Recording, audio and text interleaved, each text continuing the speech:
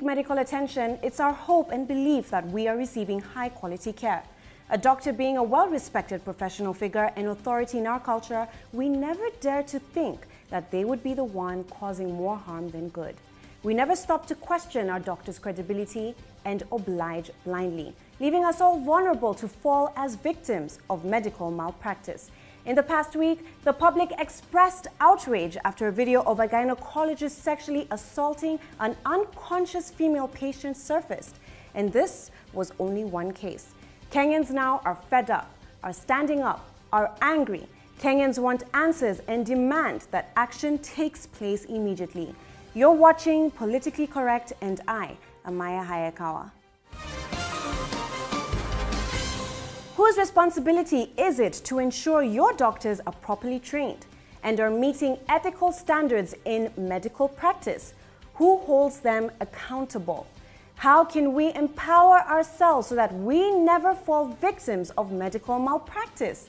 These are but a few questions we plan to answer here today, and my guest is Dr. George Akuno, a resident in surgery at University of Nairobi and Kenyatta National Hospital. He's also a member of Kenya Medical Practitioners, Pharmacists and Dentists Union. Welcome to the show, Dr. Thank you so much for coming, first of all, and for taking your time, your busy schedule, um, saving lives on a daily basis. I don't take it for granted that you're here today. Um, now, first of all, this case of Dr. Wairimu, before we even get into anything else, um, you being a professional doctor, what is your initial reaction? What is your feeling toward the situation?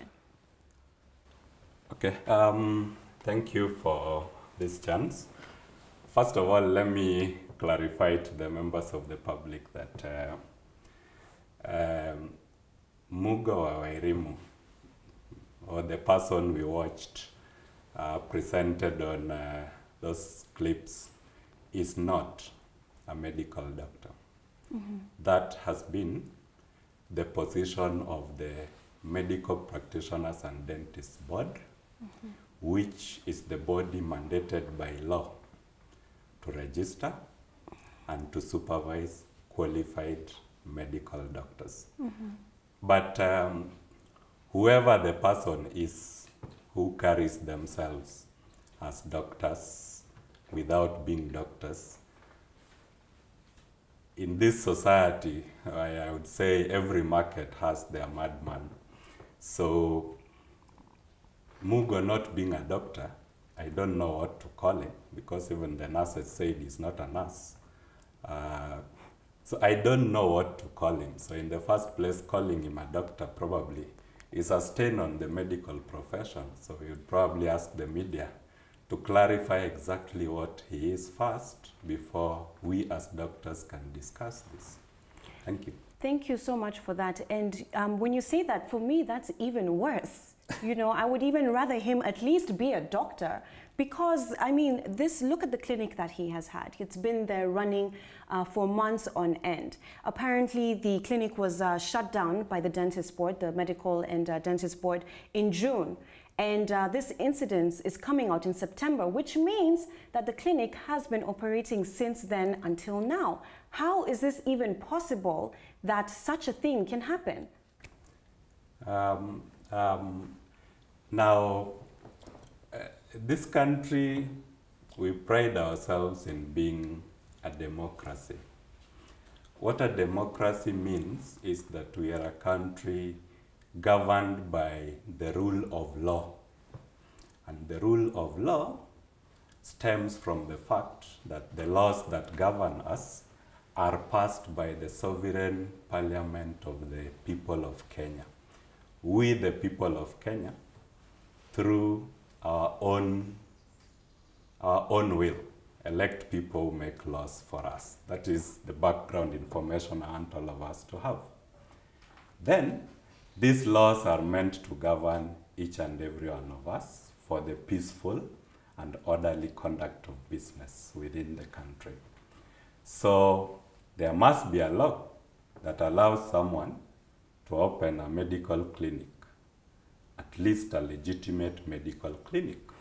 Right now, as the law states, can anybody open a clinic? What are the requirements for you to open a clinic or an, a, a, a medical health institution? Uh, Let us be very specific because unless we understand what we are talking about, the public gets misled. There are very many laws governing people who can operate clinics. So, to that end, let me clarify that it is not only medical doctors and dental surgeons that can run clinics. Mm-hmm. For a fact, as a matter of fact, this country has about 20 or 20 something professional and quasi professional cadres, different cadres mm-hmm. in the health sector who are rendering one service or the other. Mm-hmm. Medical doctors and dental surgeons are only two of this big number. So the law that the Medical Practitioners and Dentists Board uses to police or regulate the medical doctors and dentists is only applicable to medical doctors and dentists. Mm-hmm. There are other people, for example, there are pharmacists and pharmacy technologists. They operate under different law called the Pharmacy and Poisons Act, CAP 244. Mm-hmm. They are nurses. They operate under CAP 257, the Nurses Act. They are clinical officers. They operate under another law, the Clinical Officers Registration and Licensing Act. Mm-hmm. They are radiographers, which operate under different law. Mm-hmm. They are oral health technologists who don't even have a law to regulate them. They are plaster technicians. So when the media jumps onto this title doctor and holds it that doctors doing this, doctors doing that, we would also urge the media to try to do a little more research to discover exactly who is designated a doctor by the law. And I'll clarify this. CAP 253, Medical Practitioners and Dentists Act of mm-hmm. 1977, operationalized in 1978, actually criminalizes someone from using the term doctor when they have not gone through the proper training and licensing as such.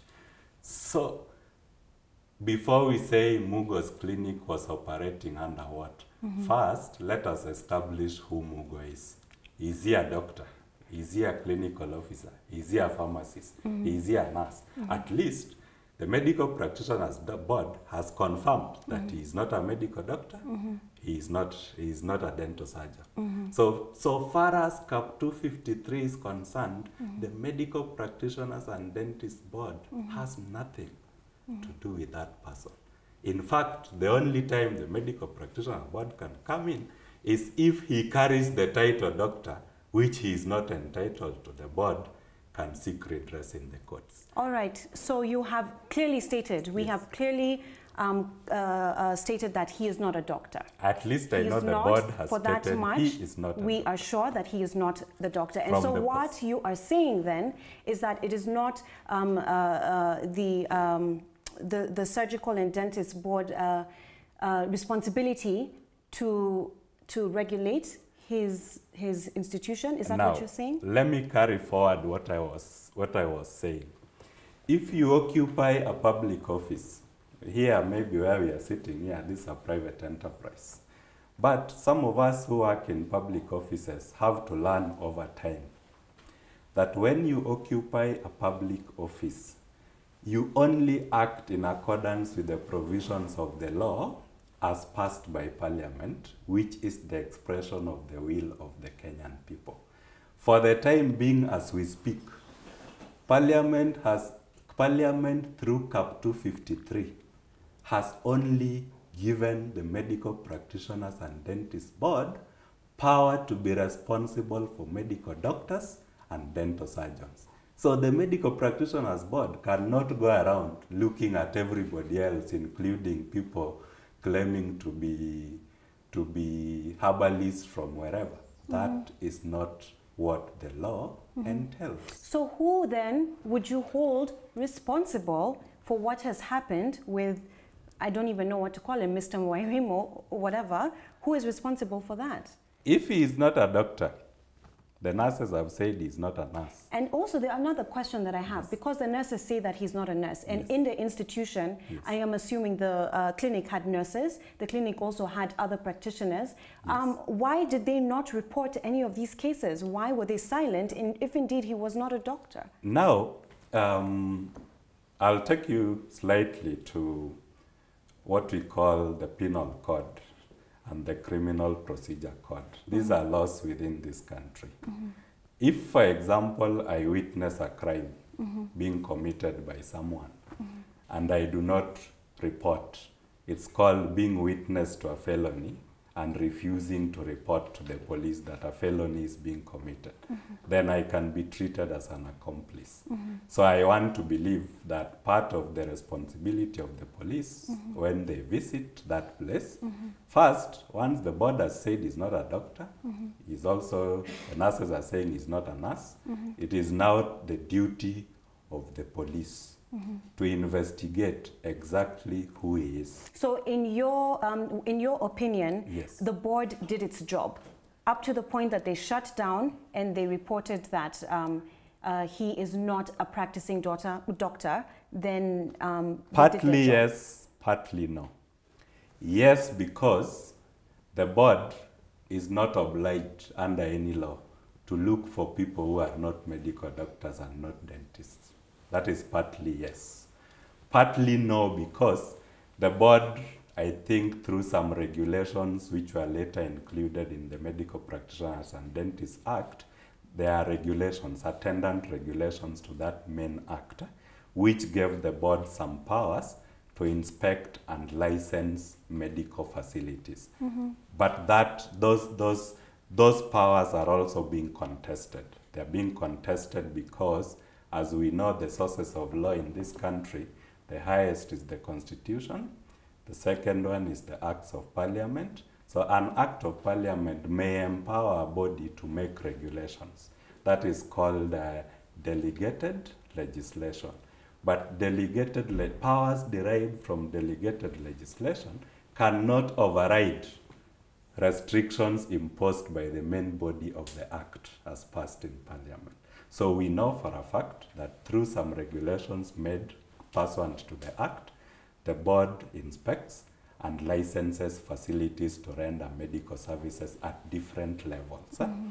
But that is courtesy of delegated legislation. Mm -hmm. But the main body of the Act only deals with doctors and dentists. Mm -hmm. So, to the extent that the board may have been inspecting this facility, they could have known that the people working here may be purporting to have licenses that they should not hold. Mm -hmm. To that extent, the board probably needs to tell people mm -hmm. when they conduct their annual inspection of facilities, mm -hmm. what did they find in that place. Mm-hmm. So together with the police, I hope in the coming few days, they will be telling members of the public that as we do our annual licensing of facilities, mm-hmm. which is a function we carry out pursuant to. Regulations made under the CAP 253, we discovered A, B, C, and D. Mm -hmm. But that may not rule out the fact that that clinic may have been operating without even being inspected and licensed. Mm -hmm. That is clearly breach of the law, mm -hmm. which is the reason why I would like to place most of this on the police service. Mm -hmm. They should tell us, mm -hmm. because it is their duty to investigate those who are committing crime, mm -hmm. to tell the members of the public, one, the status of that clinic, the status of those who work there. Because before we establish that, I think it is premature for the country to be treated to what I call, uh, what I call uh, mob justice. Yes.